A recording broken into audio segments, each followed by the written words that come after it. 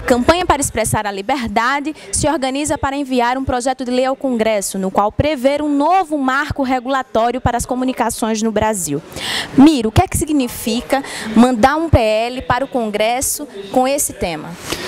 Significa que nós vamos pressionar o Congresso Nacional. Infelizmente, o Congresso Nacional não cumpriu até hoje seu papel. A Constituição de 88 definiu as balizas do que deveria ser a comunicação no Brasil, nos, nos artigos 220, 21, 22, 23, 24. Esses artigos precisariam ser regulamentados. Até hoje não foram regulamentados. Esses artigos, por exemplo, um deles diz é proibido monopólio. E o que mais nós temos no Brasil é monopólio de mídia. Outro deles diz é preciso estimular produção regional, produção independente. Nós não temos isso no Brasil, não tem esse estímulo. Outro deles diz é preciso ter uma complementariedade de sistemas, não pode ser só comunicação, não pode estar na mão apenas da iniciativa privada, tem que estar no setor estatal e, e na sociedade, no setor público. Então o Congresso não regulamentou a Constituição. Não regulamentou. A Constituição é muito bonita, mas não foi regulamentada, não sai para nada. Né? E não regulamentou porque a pressão dessas sete famílias que dominam a comunicação é muito grande. Ela chantageia o Congresso, ela ameaça o Congresso, não é isso? Então o que, a sociedade vai fazer? Como o Congresso não fez, como o governo não toma iniciativa, infelizmente o governo Dilma não está afim de comprar essa briga, né? a sociedade vai pressionar.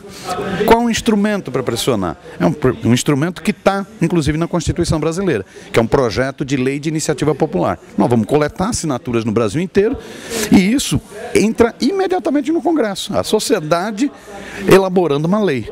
Esse é o, esse é o esse é o intento, é mobilizar a sociedade, debater com a sociedade brasileira. Vamos ficar nove meses, nove meses é um período de gestação, nove meses coletando assinaturas para levar para o Congresso Nacional.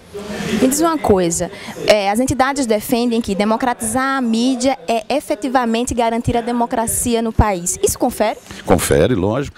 Nós temos a, a mídia, a, essa mídia que está aí, essa mídia comercial, corporativa, ela é manhosa, ela fala assim, não, estão querendo atacar a liberdade de expressão, estão querendo censura. Vamos, vamos com calma. Quem sempre trabalhou por censura foi essa mídia mesmo que apoiou o golpe militar de 64 e depois apoiou a ditadura.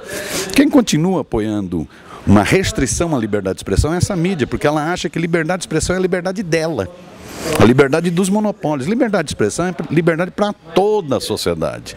Né? Então, quando a gente luta por democratizar a comunicação, na verdade, nós estamos lutando por liberdade de expressão para toda a sociedade. Nós não podemos confundir liberdade de expressão com liberdade de monopólio. Ok, Miro. A TV Vermelho agradece. Mais informações, acesse o Portal Vermelho. Joane Mota para o Boletim Vermelho.